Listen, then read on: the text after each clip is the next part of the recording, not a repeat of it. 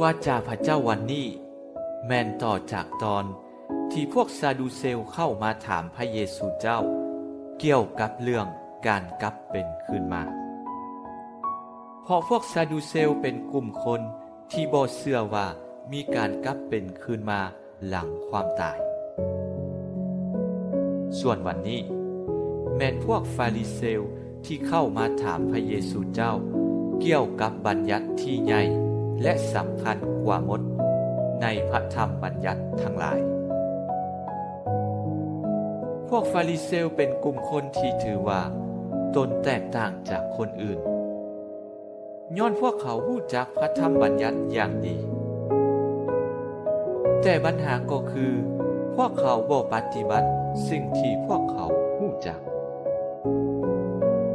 องกันข้ามพวกเขาได้ใช้พระธรรมบัญญัติ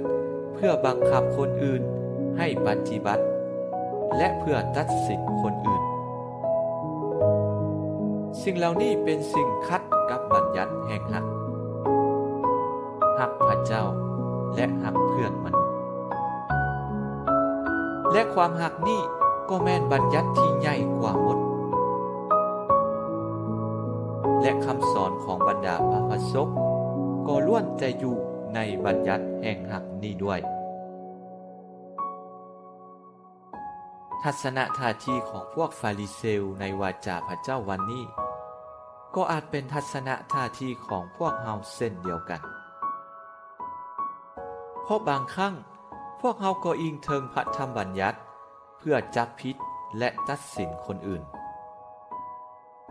พวกเฮาบ่เพียงแต่บ่อยากเข้าในอาณาจักรของพระเจ้าเท่านั้น แต่พวกเฮายังเป็นอุปสรรคกีดขวางบ่ให้คนอื่น ได้เข้าในอาณาจักรของพระองค์ด้วย